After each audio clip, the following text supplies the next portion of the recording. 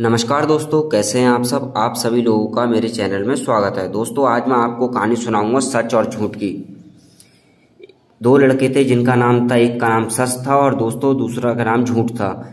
एक बार सच और झूठ नदी में स्नान करने पहुँचे। दोनों ने अपने अपने कपड़े उतारकर नदी के तट पर रख दिए और झटपट नदी में कूद पड़े। दोस्तों, सबसे पहले झूठ नहाकर नदी से बाहर आया और सच के कपड़े पहनकर चला गया। सच अभी भी नहा रहा था। जब वह स्नान कर कर बाहर निकला तो उसके कपड़े गायब थे। वहाँ तो झूठ के कपड़े पड़े थे। भला सच उसके कपड़े कैसे पहनता? कहते हैं, तब से सच नंगा है और झूठ सच के कपड़े पहनकर सच के रूप में प्रतिष्ठित है। दोस्तों, अगर आपको मेरी ये वीडियो अच्छी लगी हो सच और झूठ के बारे में तो उसको लाइक और सब्सक्राइब ज़रूर करें।